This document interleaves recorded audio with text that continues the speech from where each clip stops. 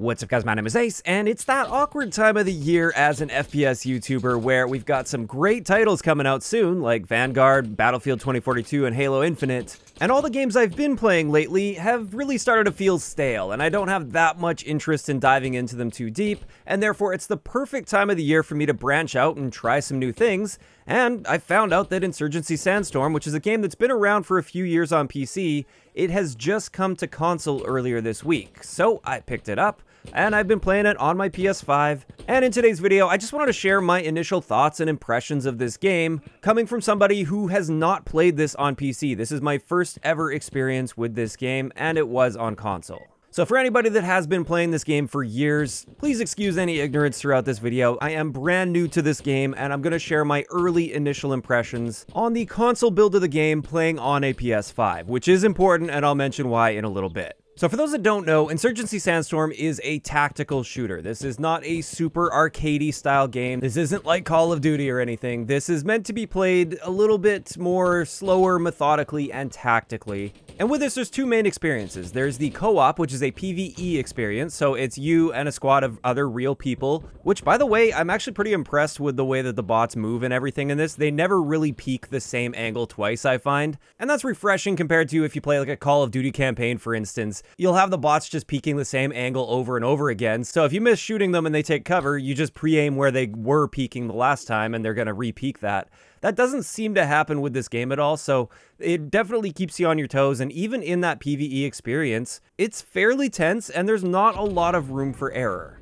Now, that's not to say that the bots are extremely difficult to kill or anything like that. They're fairly easy to kill, but sometimes they will surprise you and take you off guard, and you really have to be aware of that. Now, in the PvE experience that I've been playing at least, what you do is you work your way through a very large map going from objective to objective, and each objective is going to be a little different. Sometimes you have to capture a building, and then you have to defend that building for a wave of enemies, like for a certain period of time while enemies attack it. And then other times you have to go and like plant a bomb, for instance, and blow up an objective. So that's the co-op mode that I've experienced so far, and honestly, this is where I've gotten the most enjoyment out of this game. I actually find it to be quite fun and relatively relaxing, even though you do have to be on and aware of things, because like I said, there's not a whole lot of room for error. It's relatively relaxing to play this, and it would be great to play with friends as well. Now, as for the PvP, I haven't played a ton of PvP. I've only played a few matches, and in those matches, I've generally played pretty well. Like, I actually led the lobby a couple times, and every game I've played so far, I've at least been in the top half of the scoreboard. So it's not like I'm playing completely terrible, even though I am a noob, I am new to this, I don't know all the maps and the angles and the lines of sight and everything.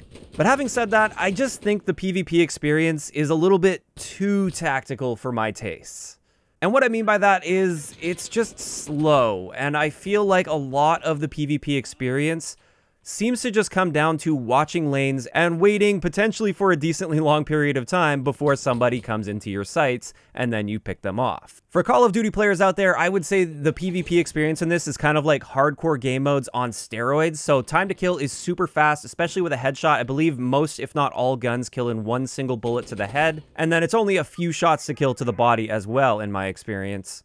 And on top of this, there's an extremely limited heads-up display. So like you don't have a mini-map or anything like we'd see in Call of Duty, you have a compass. And also there are no hit indicators in this game at all. So when you shoot somebody, you've got to look for that red mist. I believe there's a nice red mist if you get a headshot. I don't think you get that same sort of red mist with body shots, but basically you shoot until you actually see the character model go down. So for anybody that likes a super immersive, tactical, semi-realistic experience out of a shooter, this is a great game for that. It may not be a full-on milsim, but it definitely leans pretty far in that direction. So yeah, that's my like overall general take on the modes. Personally, I had a lot more fun playing the PvE co-op experience and working my way through bots and playing it methodically like that. When it comes to PvP, I prefer a much faster paced shooter like Call of Duty, and that's 100% just down to preference. Next up, I want to talk a bit more about the gameplay mechanics themselves. The first thing I noticed while playing this is the audio is incredible when it's not bugged out. I have had a few bugs on the console version of the game. I don't know if this is something that appears on the PC version as well, but on the console version, I've noticed sometimes my gun has literally zero audio when I fire it, but usually if I die and respawn, then it fixes itself and it's totally fine. Also, sometimes it seems like the environmental audio, so like wind or like anything you'd expect to hear in the environment, that also completely cuts out and there's just no audio whatsoever. But aside from those bugs, the audio is great in this game. The footstep audio sounds perfect. You can hear those footsteps coming, but there's actual proper occlusion to the footsteps. So you're not going to hear footsteps super clearly through walls or through an entire building or anything like that but the fidelity on them is great. You can also hear like if a grenade lands next to you, we don't get grenade indicators in this game. You have to rely on that audio. So it's a very immersive experience and you definitely want to have a good headset while playing this game, based on my experience with this at least. Additionally, the amount of weaponry that you have access to is crazy. There are so many different guns. You can go in the firing range area and just test out all the different weapons. Lots of different attachments you can put on them as well. There is a good amount of recoil in this game. Even when you stack a gun up with recoil attachments, there's a decent amount of recoil there that you need to control. And especially with a controller, it can be difficult at times. But I have found that generally switching over to semi-automatic mode and just tap firing everything, that tends to be the way to go in my experience.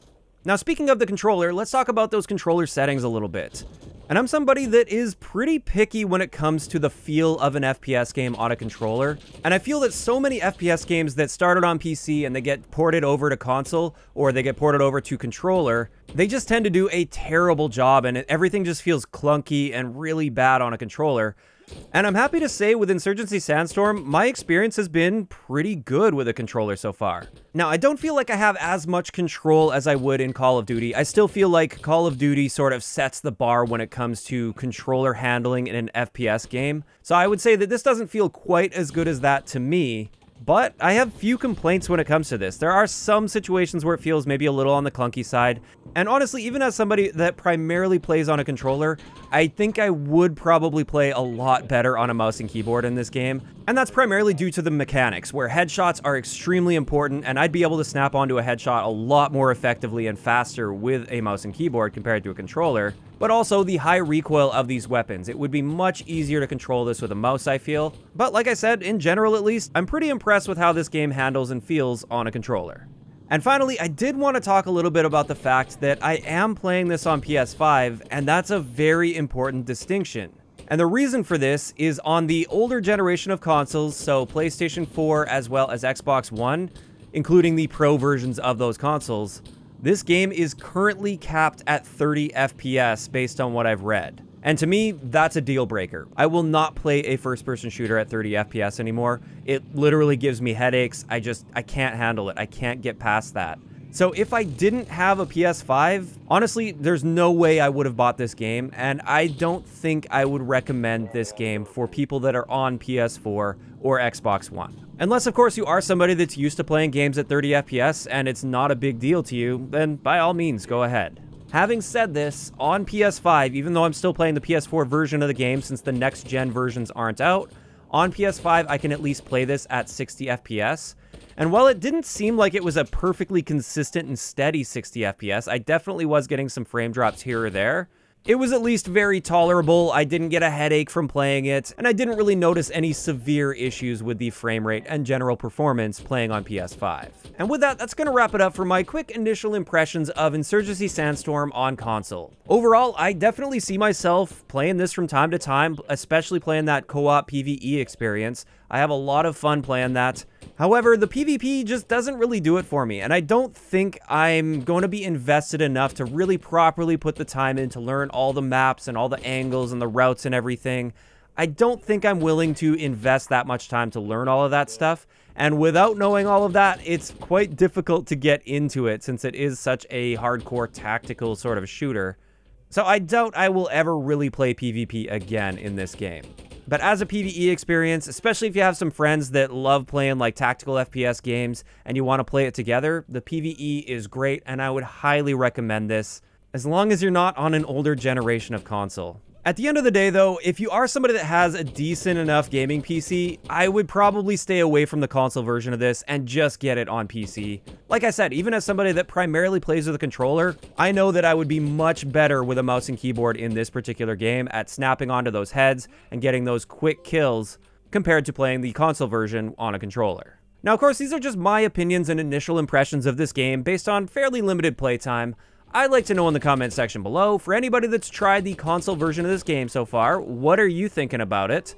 And if you haven't played it yet, are you interested in checking it out, or do you think it's just going to be a pass for you? If you enjoyed the video, a like rating is always appreciated, and don't forget to subscribe for more if you haven't already. I'll talk to you guys next time.